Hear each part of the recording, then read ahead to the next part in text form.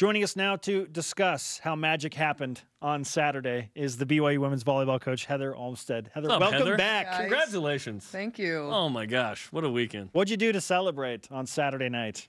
Oh my gosh. I mean, the celebration on the court was probably something obviously I'll never forget. To be able to be at home with our team. Um, I mean, everybody was crying. It was just such a, a, a great celebration. And then afterwards in the locker room as well. I mean, that was probably the greatest celebration we did that night.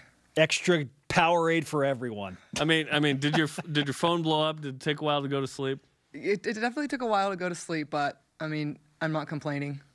It was great. Yeah, explain your phone. What was your phone like when you finally got to address it?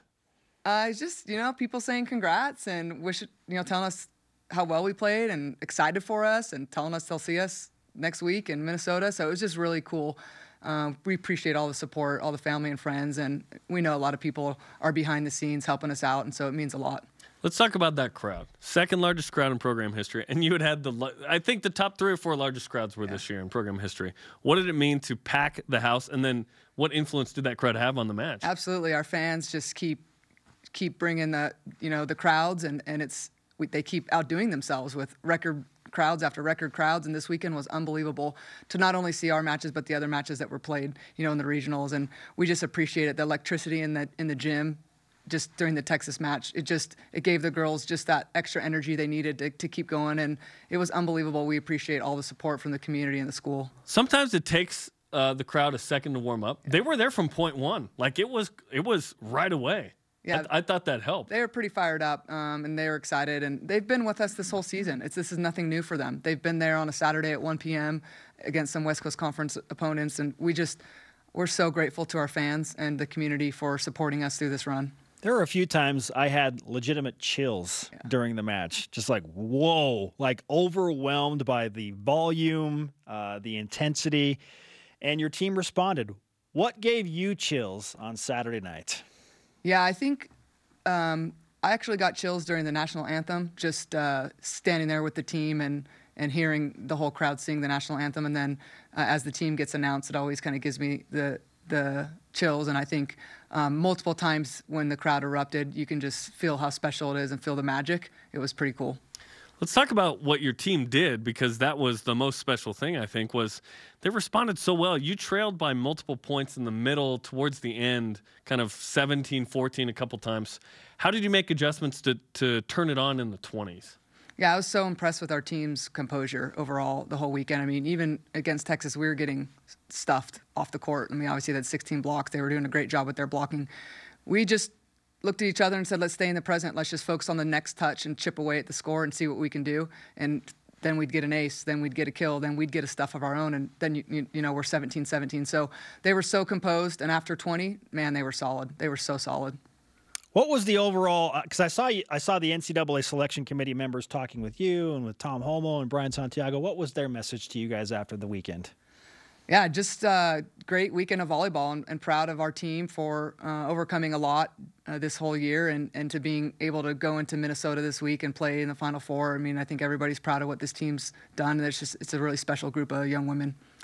Roni Jones-Perry has 25 kills in three sets. That's just incredible. She's a beast. Um, what did she do this weekend that was maybe it's not different? Maybe she's been doing it all year, but but she kind of rose to that elite level, first team All American type level. You know, she's This been, season, yeah. she's been playing like that all, all year. So we see that every day in practice. We see it in all the matches, home and away. She's so steady. She's so solid. She's improved her overall all around game. I just think how far she's come from her freshman, sophomore, junior, senior year. I, I just don't know if there's a better story out there for hard work and perseverance, determination, resiliency, grit. You name it, she's got it, and she wants it. She knows what she wants, and she's going to go get it. It's the Copper Hills way, Heather. All That's- right. That's how we do at Copper Hills. Remind people. We're not Bingham, okay? For those who don't know, remind people how Roni even discovered BYU. How did she get to BYU? Yeah, we saw we saw her play in club, and uh, we saw her arm, and we saw her her jump. I mean, she was only touching 9'11 at the time that we were recruiting her, so almost 10 foot, which is pretty good in volleyball. she was mostly off the radar, right? Yep. And so her junior year, we we identified some things in her that we liked. We got to know her family. Uh, they're an amazing family. Obviously, they did a good job raising her. She works hard. Her club coaches did a great job training her, and they said, "Hey, this is this girl's gonna work hard for you, and so you should look at her." And and we just decided after getting to know her, and obviously, again, we liked her arm. That if we could train her up and she would put in the work, that she could be pretty special. Now she's touching 10-8, Yeah.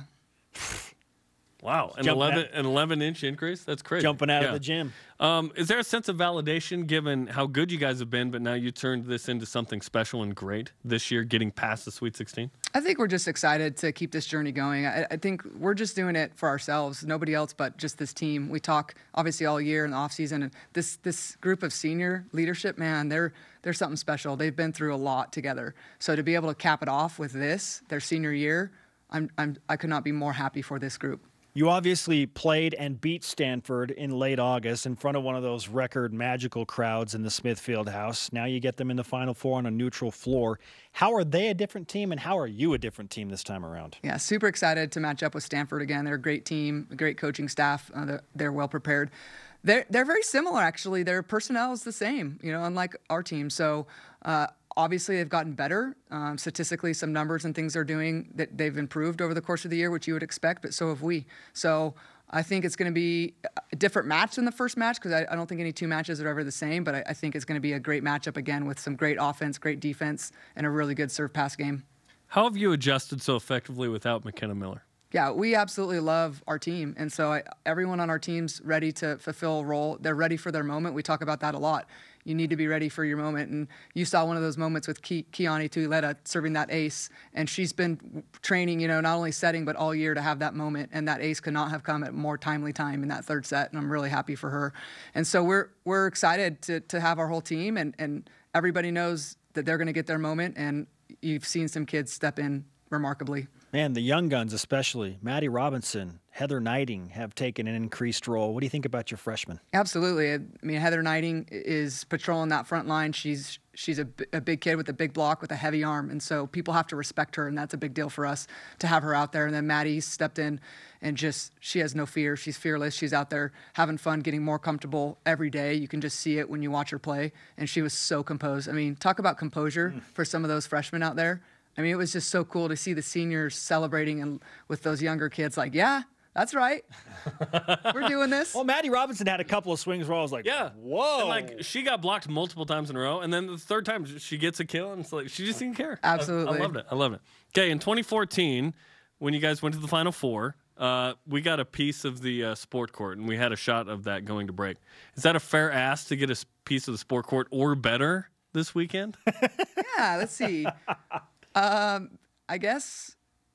What if maybe a piece of like the actual trophy, national yeah, the championship trophy. Yeah, yeah. If if that